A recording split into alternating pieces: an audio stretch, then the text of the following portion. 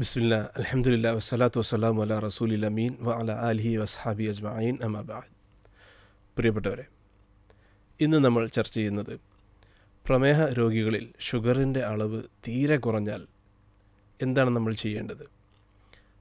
അത് അതിന്റെ ലക്ഷണങ്ങൾ എന്താണ് കാണുന്നതെന്ന് നമുക്ക് ആദ്യം അത് അതിനെക്കുറിച്ച് ചർച്ച ചെയ്യാം. ആദ്യം കാണുന്നത് എപ്പോഴും ഞാൻ പറയുന്ന പോലെ വിശപ്പ് വിറയൽ വിയർക്കൽ അത് മലയാളത്തിൽ വി എന്ന് എഴുതുന്ന വാക്കൊരു വള്ളിയിട്ട് വി എന്ന് എഴുതുന്ന ആ അത് വെച്ച് തുടങ്ങുന്ന മൂന്ന് കാര്യങ്ങൾ അത് അങ്ങനെ പറയുമ്പോൾ നമുക്കത് ഓർക്കാൻ കഴിയും. വിഷപ്പ് വിറയൽ വിയർപ്പ്. അപ്പോൾ ഇത് കണ്ടു കഴിഞ്ഞാൽ നമുക്ക് മനസ്സിലാക്കാം ഇത് ഷുഗറിന്റെ അളവ് കുറയാനുള്ള സാധ്യതയുണ്ടെന്ന്. ഇതിന് പുറമെ നമുക്ക് മറ്റുള്ള ലക്ഷണങ്ങൾ കൂടിയുണ്ട്. അതായത് തരിപ്പ് അനുഭവപ്പെടും. ഇവിടെ നമ്മുടെ വായ്ക്ക് ചുറ്റുഭാഗത്തുമുള്ള ഏരിയയിൽ ചുണ്ട് ഇരു ചുണ്ടുകളിലും അതുപോലെ നാക്കിനും തരിപ്പ് അല്ലെങ്കിൽ സൂചി കൊണ്ട് പതുക്കെ കുത്തുന്ന പോലെ ഒരു ചെറിയൊരു ടിംഗ്ലിംഗ് സെൻസേഷൻ എന്ന് പറയും. അങ്ങനത്തെ ഒരവസ്ഥ നമുക്ക് അനുഭവപ്പെടാം.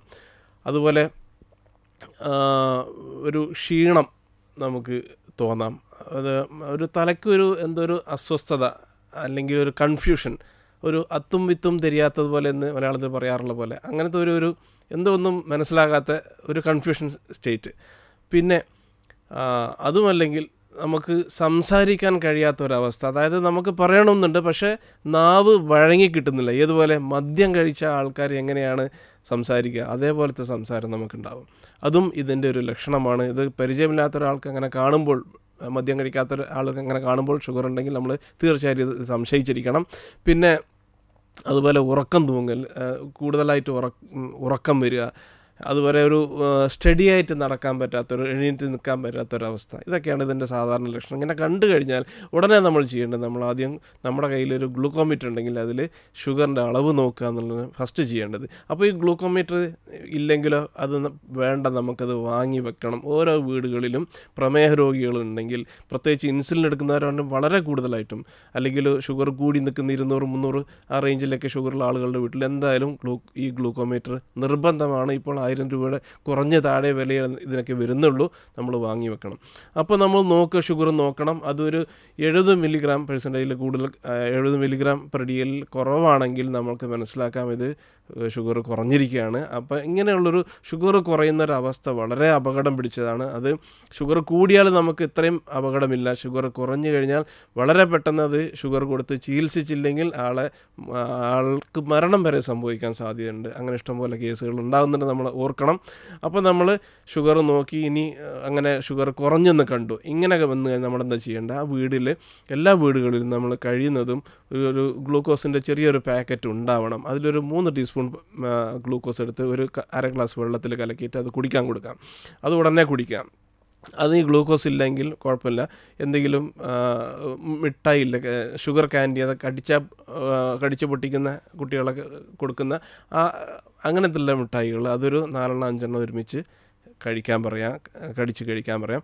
അതും നമുക്ക് കയ്യിലില്ലെങ്കിൽ നമുക്ക് തേൻ വീടുകളിലൊക്കെ തേൻ ഉണ്ടാവുമല്ലോ. തേൻ ഒരു മൂന്ന് ടീസ്പൂൺ നാവിന്റെ അടിയിലേക്ക് വെറുതെ ഒഴിച്ച് കൊടുത്താൽ മതി. അവിടെ ഇരുന്ന് കഴിഞ്ഞാൽ തന്നെ അത് അബ്സോർബ് ചെയ്ത് പോകും. അതാണ് കൂടുതൽ സ്പീഡിൽ അബ്സോർബ് ചെയ്യാൻ നല്ലത്.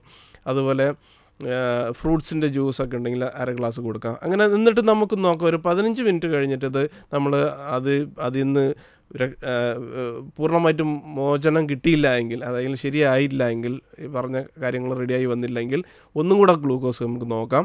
എന്നിട്ടും അതുപോലെ കുറവ് തന്നെ ആണെങ്കിൽ വീണ്ടും ഇതേപോലെ നമ്മൾ കൊടുക്കേണ്ടിയിരിക്കുന്നു. ഇനി അതല്ല അത് വീണ്ടും നോക്കുമ്പോൾ വീണ്ടും പതിനഞ്ച് മിനിറ്റ് കൊണ്ടൊക്കെ ശരിയായി ഒന്നും കുഴപ്പമില്ല. അങ്ങനെയാണെങ്കിൽ നമ്മൾ ആ സമയത്ത് എന്തെങ്കിലും ഭക്ഷണം കഴിക്കാൻ കൊടുക്കണം. മധുരം ഇല്ല ഉള്ളത് വേണമെന്ന് നിർബന്ധമില്ല. എന്തെങ്കിലും സാധാരണ കഴിക്കുന്ന ഇഡ്ഡലിയോ ദോശ അങ്ങനത്തെ സാധനങ്ങൾ ചപ്പാത്തി കാര്യങ്ങൾ അങ്ങനത്തെ എന്തെങ്കിലും നമ്മൾ കഴിക്കാൻ കൊടുക്കണം. ഇത് വളരെ നിർബന്ധമാണ്.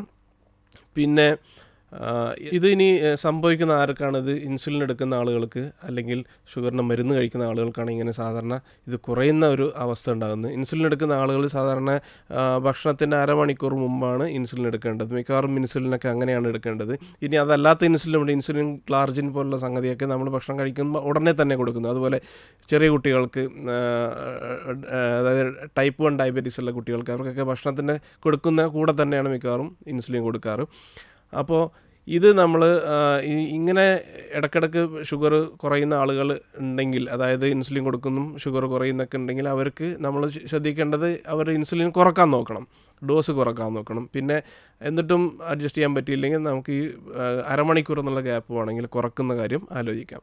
ഇതൊക്കെയാണ് നമ്മൾ ഇതിനെക്കുറിച്ച് അറിയേണ്ട ചില സംഗതികൾ പ്രത്യേകിച്ച് ഉണർത്താനുള്ള കാര്യം ഇൻസുലിൻ നോക്കുന്ന ഷുഗർ നോക്കുന്ന ഗ്ലൂക്കോമീറ്റർ നമ്മൾ വാങ്ങി കയ്യിൽ വെക്കണം. ഇങ്ങനെയുള്ള ആളുകളുടെ വളരെ നിർബന്ധമാണ്. ഇപ്പോഴെല്ലാവരും റെക്കമെൻഡ് ചെയ്യുന്നൊരു സംഗതി അതാണ്. ഓക്കെ